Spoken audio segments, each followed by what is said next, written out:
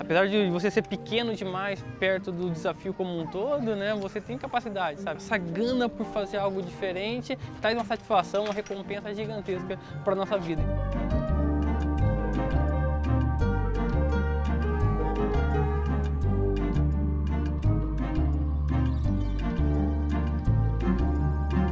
Quando você é criança, você quer ser ou jogador de futebol ou super-herói. Mas você pode ser, de certa forma, um super-herói.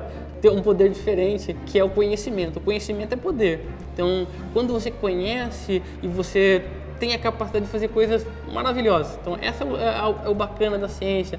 É literalmente a se achar um super-herói. Saber que aquilo que você faz é benéfico às pessoas.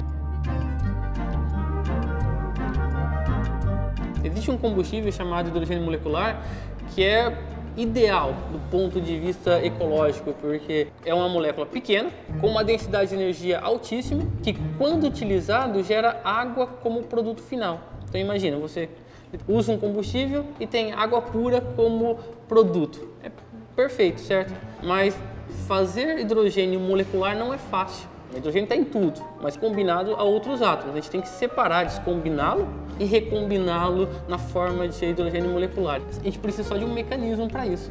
Então, a investigação desse mecanismo é a minha área de pesquisa. A expressão de um artista, de um pintor, é o seu quadro, aquela obra. Então, a expressão de um cientista, de certa forma, é o seu trabalho, sabe? É os projetos que ele desenvolve, é, são os resultados que ele coleta, a interpretação da ciência que ele faz. Às vezes você pensa algo que ninguém concorda, mas você tem alguma coisa lá dentro dizendo ah, esse é o caminho, é por aí que você tem que seguir. Aí você tenta construir, buscar ah, dados para fundamentar aquilo que você acredita. Então, sem sentimento na pesquisa não rola.